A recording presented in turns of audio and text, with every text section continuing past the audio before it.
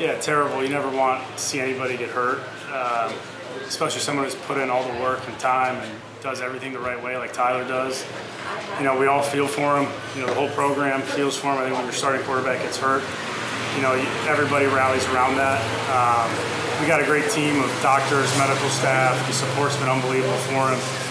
Um, I know he's doing well, and uh, we'll continue to support him and be there for him. And I know he'll attack his recovery and be ready uh, as quickly as he can be. Drew's care factor is about as high as anyone you can be around. And, you know, I told Drew, we're in a tough spot right now, and obviously we feel for Tyler, but we think, you know, Drew's the perfect guy right now, you know, for this opportunity. And uh, he's got high energy, high care factor. He knows the playbook. He has the respect of his teammates. And, you know, we don't expect, you know, anything less than that from Drew, and he expects that of himself. And you know, he's prepared himself for this for a long time, so we trust him. I think every position there are very specific details of our job that we need to focus on. And you know, there's old sayings about you know the small things make the big things happen, and that couldn't be more true right now for our group. So whether it's the quarterback, the right guard, the tight end, whoever it is, you know, we're focusing on us and focusing on the details of our position. You know, for Drew and Steve, like owning the offense and, and walking in that huddle, you know, with a demeanor that guys are going to rally around, walking up to the line of scrimmage with a demeanor that guys are going to feed off of. Like every single detail matters right now, and that's what we're harping on for all 11.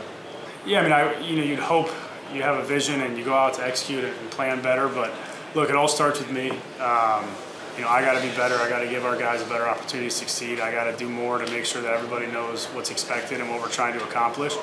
Um, you know, you're around this game long enough. I don't think surprise is the right word, but you know, we're extremely driven to make sure that we fix it.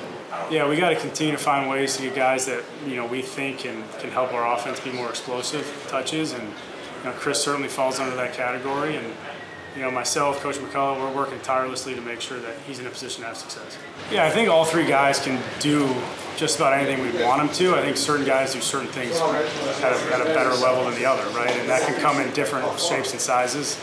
Um, you know, we have three backs that we feel like we can win with, and we're going to continue to find ways to, to make that happen. Yeah. I mean, certainly nothing replicates game experience. I mean, there's no secret to that. Um, there's certainly strides that you can make you know, when you're removed from playing for that long and extended of a time, you really start to look at the game from a different vantage point. And the challenge for him is to be able to grow as much without being on the field. And you're going to take, be able to take a step back, look at it from a different way. And there's certainly ways to grow and, and learn and become better from doing that as well. Look, I think anytime you play this game, the margin between wins and losses are very small. I mean, you can have a number of loss, of wins that get masked because you won the game. And you can turn on the film, and there's probably two or three plays that bounce differently that lead to wins versus losses. Um, you know, I certainly think this is going to continue to drive the group, motivate the group, but we have motivated guys no matter what. And so, if you're looking for a silver lining, I think you know it's not taking things for granted and understanding playing and play out how important it is that all 11, all coaches, all members of our program do their job. You know, every opportunity we have, and you know, again, you can't take any play for granted, and you learn that pretty quickly when you get humble.